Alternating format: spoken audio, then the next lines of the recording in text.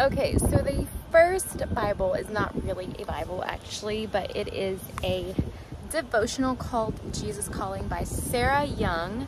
And this is really popular, and now I know why. Because the devotionals in there are um, in first person, it's like God is talking to you very directly, and it's really, really good. Um, I might read today's, so let's see what God has to say. April 5th. Let me fill you with my love, joy, and peace. These are glory gifts flowing from my living presence. Though you are an earthen vessel, I designed you to be filled with heavenly contents. Your weakness is not a deterrent to being filled with my spirit.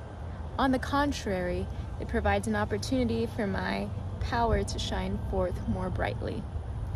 As you go through this day, Trust me to provide the strength you need moment by moment.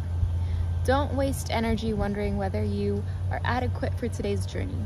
My spirit within you is more than sufficient to handle whatever this day may bring. That is the basis for your confidence. In quietness, spending time alone with me, and confident trust, relying on my sufficiency, is your strength. And they, she gives you little verses to look up and read. Jesus Calling by Sarah Young is a classic and a must-have. The next Bible I have is one of my first Bibles that I ever got. My dad bought it for me. Got this back in 2007. It's the NIV version by Zondervan. And by the way, NIV stands for New International Version, so it's a very simple version. The cover has actually been peeled off completely, uh, but it is still so special to me it is actually red leathered. Red lettered, not leathered. I found that I stay consistent better when I have a small enough Bible that won't fall on my face when I'm lying down to read in bed. The next one I have is actually a study Bible and it's a big black leather one and it is, let's see, the New American Standard Bible or NASB and it is also by Zondervan. And as you can see, it's been roughly used. Uh, some of it is coming out, but that's actually a good thing because you know it's been used. And I really love the, the way they have the index here, so it's easy to prop open to any part of the Bible. This was also given to me by my dad, and this time he has an even longer note in it, um, which is quite special to me. I love it because it's got all these footnotes on the bottom and it's just really, really informative and I really learned a lot by reading the footnotes. And so if there's a study Bible I could recommend, it would be this one. Thank you to my dad. The next one is actually a picture Bible, um, and this is from my younger days, but it was so good, I still read it to this day. And it's the picture Bible this is what it looks like on the inside. It's got so much color and um, I really fell in love with the Bible stories because of this book. So if you have a child or you plan on having a child or you just want to read it yourself, go out and buy this book, okay?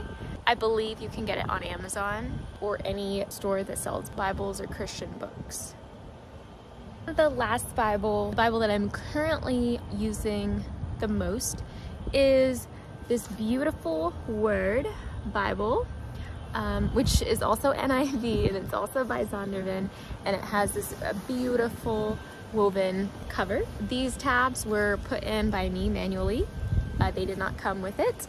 The beautiful Word Bible is really cool because you have space on the side to write notes and it's also got a bunch of images and things that make the Bible a lot of fun. That's what it looks like turning into the New Testament. They have highlighted some popular verses and they have illustrations for it on the side. As you can see, you can write notes and more illustrations. And the last Bible um, that I want to talk about but can't show you is one that I have not gotten yet and it's uh, very popular right now, I think, and it's called the Hosanna Revival Bible.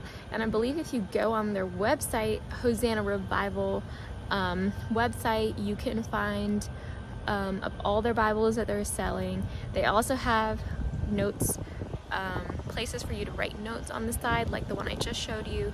Um, uh, and that is one that I have yet to get, hoping to very soon in the future. Thank you so much for watching this short video, um, and thank you for coming outside with me. Hopefully the wind didn't bother you that much.